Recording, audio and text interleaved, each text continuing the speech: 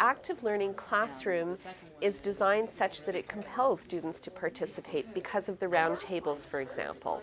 And I think that's important for what I'm doing with the students because academic writing is sometimes viewed as something that happens in isolation. But really, academic writing doesn't happen in isolation.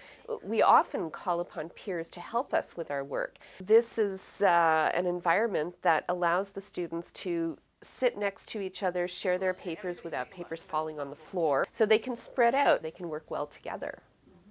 Here we've got the basket and the garbage. So what I'd like you to do for a minute is think about which picture corresponds to which sentence. which were wrote on yeah. Yeah. Two is A. Two is A and Here. It's the first time I'm, work, I'm, I'm learning in this type of classroom. two is A.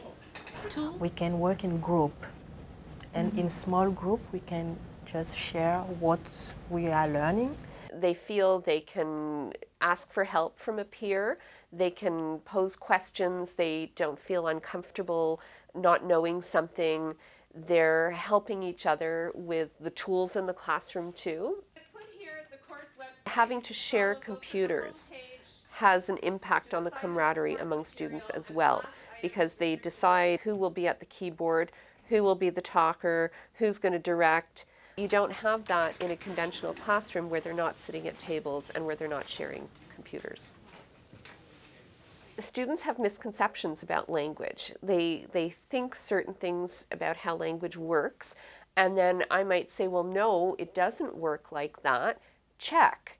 Just for fun, test what I say. Go to LexTutor to the concordance search. Type in comma that. See how many hits you get. Do it now, like right now.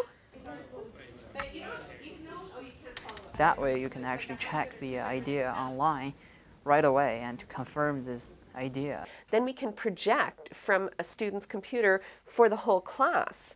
And everybody can see that, yeah, I had that misconception. How many instances of comma that do you get? Many? No. What does that mean for your own writing?